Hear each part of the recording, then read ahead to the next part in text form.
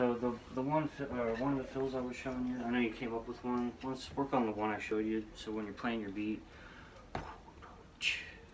snare, snare, tom, tom, tom, tom, floor, floor, crash, back to the beat. That kind of deal. When you're ready.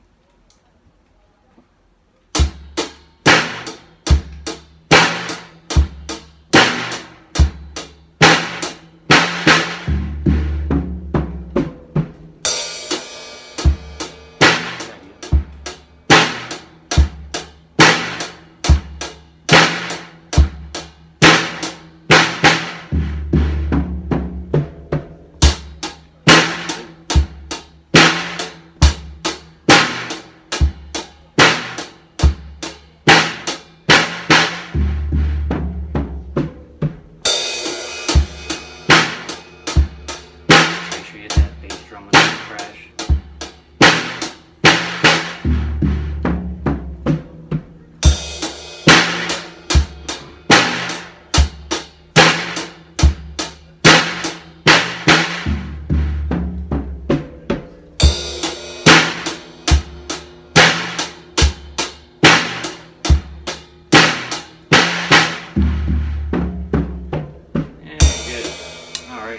Yeah, it's really coming along. It's nice and steady. So you really come along with keeping that fill within the pocket.